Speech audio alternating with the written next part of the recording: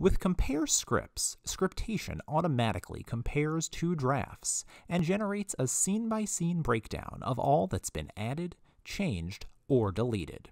Here's how it's done. Starting within your new draft, tap the transfer icon. Then select the previous draft for which you want to generate a comparison report and transfer notes from. The transfer window now appears, showing the cover pages of both the previous and new drafts, with an arrow pointing in the direction the report will generate and any notes will be transferred.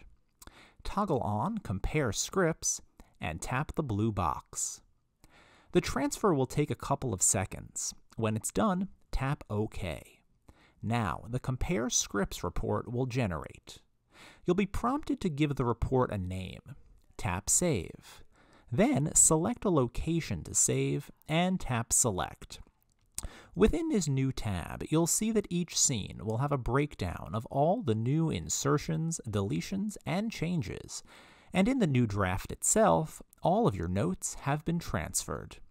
For more step-by-step -step guides, head over to support.scriptation.com.